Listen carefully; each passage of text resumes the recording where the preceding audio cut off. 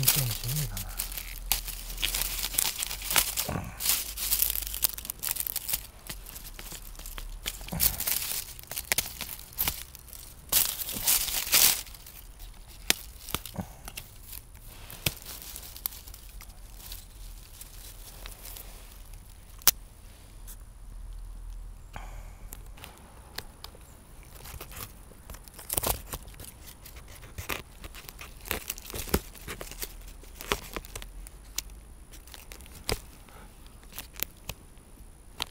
ダメか。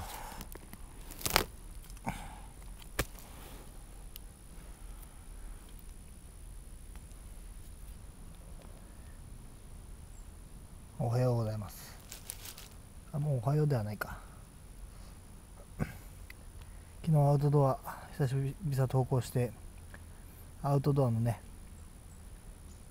方たちがたくさんコメント欄に戻ってきてくれてお帰りなさいなんてみきおさんも言ってくれてすごい感動しました。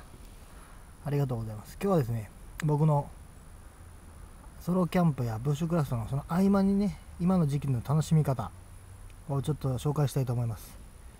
このようにですね今皮を木の皮をめくったらですねまあ本当はねテントウムシを探そうかなと思ったんですけど一番起こしちゃいけないよ ものを起こしてしまいました。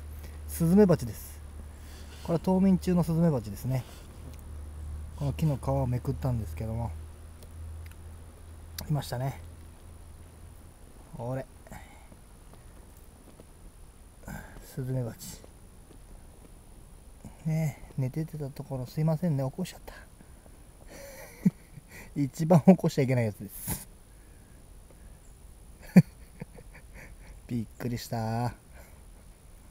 テントウムシいるかなと思ってペロってめくったらこいつがいました。うー。はいおやすみ。おやすみね。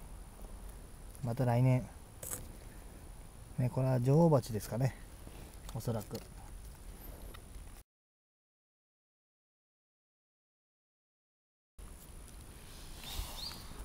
っとかわいそうだからもうちょっと奥に寝かしてあげよう。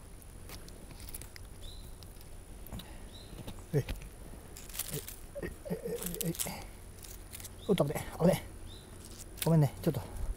ごめんね起こしちゃって。はいはいはい。はいはい寝ててはい寝ててねはい。